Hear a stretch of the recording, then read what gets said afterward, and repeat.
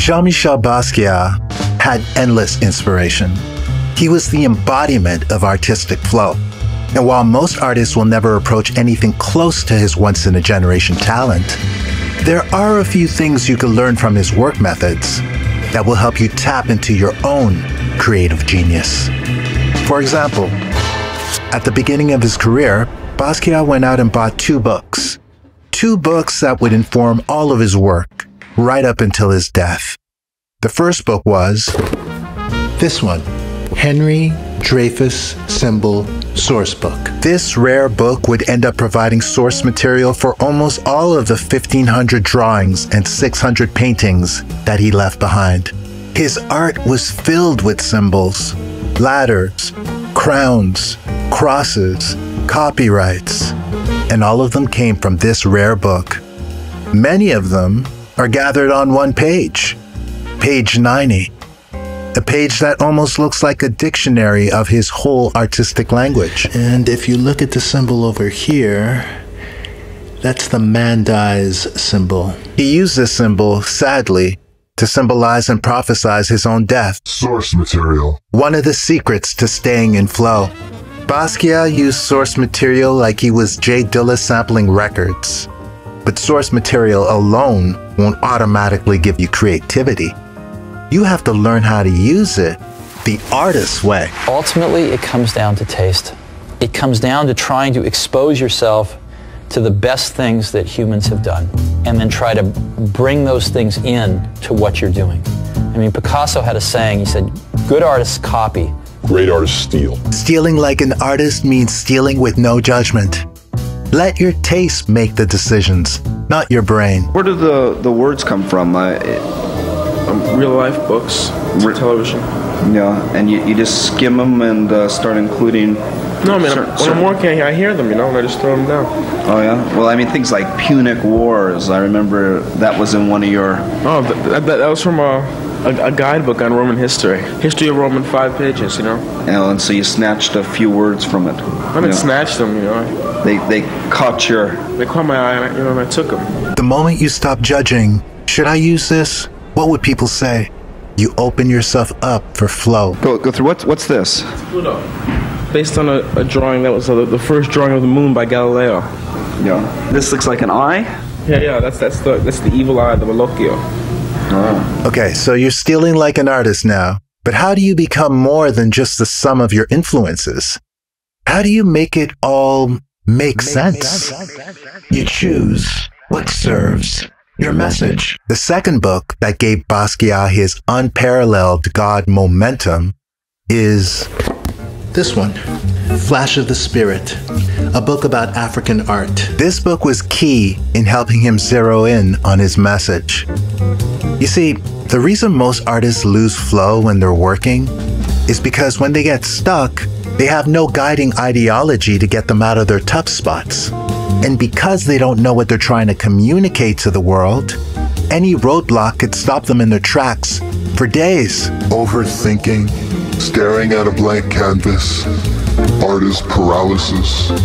That's what happens when you don't have an overarching message in your work. Basquiat did. I think there's a lot of people that are, that are, that are neglected in, in, in art. I don't know if because if it's, if it's who made the paintings or what, but um, I don't know. It seems, I don't know. Black people are never really portrayed realistically, or not even portrayed. I mean, not even portrayed in modern art enough. And because he had a message, art came out of him that much more effortlessly. It's not just that he had source material, it's that he had a place to channel it. Is there any anger in you? Any anger in your Of course there is. Yeah, of course there is. Talk about that. Tell me what, what the anger is. What are you angry about? Hmm. His work became a commentary on the underrepresentation of black art in the established art world. This looks like a uh, a, a skull. That's a casco. A what? Casco. A Gosco? What's that? Casco. Casco. C-A-S-C-O. When you have a message, art comes out of you easily. But a message, tons of source material, and your newfound audacity to steal like an artist is still not enough. You'll never have that Basquiat limitless inspiration and flow if you don't master speed. The day Basquiat met Andy Warhol, he ran back home and painted a self portrait of both of them from a Polaroid his idol had just taken. And then he ran back to the restaurant to give it to him as a gift. The paint was still fresh. Warhol couldn't believe it. All he kept repeating was, Oh, I'm jealous. I'm jealous. He's faster than me. Oh God, you're so fast and these are so great. And that was the beginning of everything between Andy and, and Jean Michel. When one of the most prolific artists of all time is jealous of your speed, you know you're doing something right. Speed. Work quickly, like a demon. You should work so fast that you don't have time to think. The brain is your enemy in art.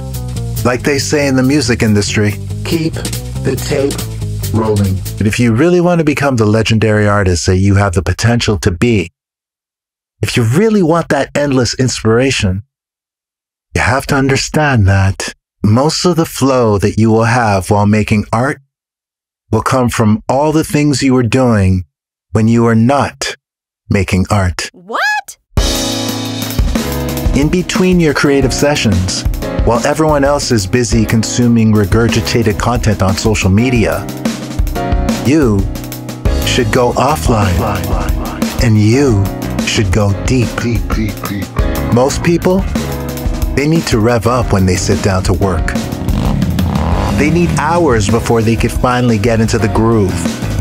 That's because they haven't been feeding their minds during their downtime. I never went to an art school. I failed the art courses that I, that I did take in, in school. Um, I just looked at I just looked at a lot of things, and that's what and that's why I think I learned about art by looking at it. Go to museums. That, that's a Roman belt buckle. It's from a drawing that I did at the Metropolitan. I went over to the Metropolitan Museum and I just did the drawing of the buckle and I came back with it and I put it right there. Oh, well, that's that's kind of a slow process. Um, I'm a slow person. The process may seem slow to an outsider, but that slow process is what makes you outrageously fast when you get back into the studio. Study, memorize, and internalize. Make that your mantra, and those ideas you consume will marinate inside of you and eventually become part of your artistic DNA. Suddenly, the oddest things will come out of you at the most unexpected times. And it's all because you made yourself this well of inspiration. You became a student of life, ready at any time to express your genius. For more tips on growing your creativity, listen to the Make Art Not Content podcast. On Spotify and Apple Music.